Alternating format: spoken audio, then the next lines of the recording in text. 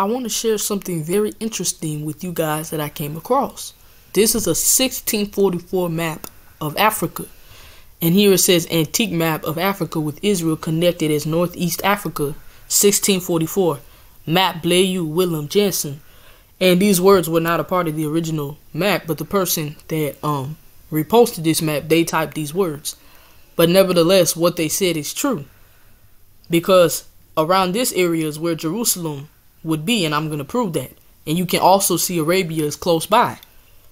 And I showed you guys how in past videos, when Jerusalem was besieged in 70 AD, the Romans made a covenant with um the Palestinians, with the Arabian people, that if you kill the Jews, you form an alliance with us. We will work together to destroy them, and once they are taken out of the land, you can move in.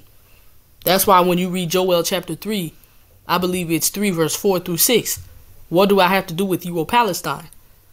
Will you render me a recompense? Because the children of Judah, the children of Jerusalem, did you sell unto the Grecians so that you could move them far from their land, far from their border. And that's exactly what they did.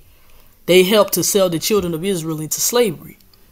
I've read you guys the source of how, after the children of Israel were taken out in the book from Babylon to Timbuktu, it said in the book that the slave markets were filled with black Jews.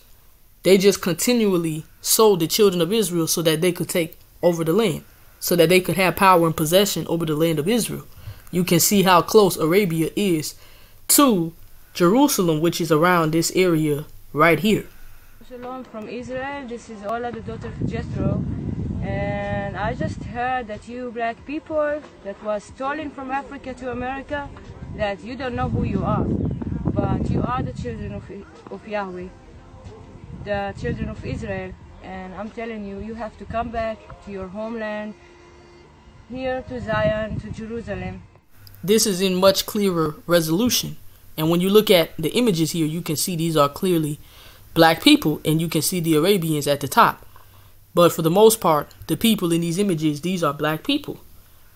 And I hope you guys can see clearer now, but you see Arabia right here is very close to Jerusalem. So when Jerusalem was destroyed, they moved right in there. There was even a prophecy in Lamentations chapter 4 that I talked about when I was covering the children of Esau, which you should check out because a lot of people said it opened their eyes to a lot of things about the Bible they didn't know. When we looked at that study, it talked about how they moved in. Obadiah said you shouldn't have moved in. And you have some Hebrew Israelites that believe that's referring to um, the Jewish people that live there now, but it's not talking about them. It's talking about the Arabians, otherwise known as the children of Edom, according to prophecy, and I have videos on that. But you can see it's very close. It is very close. And you can also see that this area where Jerusalem would be, this area right here, is connected to the continent of Africa. It's very interesting, y'all, when you look into this. This, I believe, is called a Mercator map. I'm not sure, but once I find the correct name, I will put it in the description. And this is a more modern map, something that's more commonly commonly used. And what you guys can see is the Suez Canal, which is very important. And you can also see Sinai. This is where God gave Moses the commandments in the book of Exodus. Everything that you see in yellow, this is a part of Africa. Mount Sinai is in Africa. This is where Moses was, and this is the area that the children of Israel were as well when you read the Bible for a short period of time because most of the Bible takes place in Africa. That's why you can read in the book of Exodus that um, Moses he was mistaken for an Egyptian, and according to this map, Egypt is in Africa. And we also looked at 14th and 15th century images of the children of Israel that Russia had, and one of the images showed Moses as a black man. Exodus chapter 4 mentions his skin turning white when God showed him a sign and a wonder. We read in Acts chapter 21 that the apostle Paul was mistaken for an Egyptian and he was a Jew. So black history is all throughout the Bible. A vast majority of the scriptures take place in Africa. And you can see Jerusalem is right here.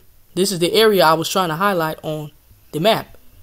This area right here is what you see in the older map as well. But the only difference is the Suez Canal, which is very important because this was not in the original map that we just saw. And I'm going to read something about this Suez Canal for you guys. Coming from Britannica.com, but it says Suez Canal, sea level waterway running north south across the Ish Isthmus of Suez in Egypt to connect the Mediterranean and the Red Seas. The canal separates the African continent from Asia and it provides the shortest maritime route between between Europe. And this I believe I'm not going to read all of this, but I believe it was built um in the 1800s. I believe in 1869, which is why that old map does not show it. But you can see was created to cause a separation. Here is the map again. This simply means that if you were to remove this Suez Canal that they built in this area, if you were to move this, this artificial river, Jerusalem would be in that spot. Jerusalem would be a part of the yellow Africa, just like the old map showed.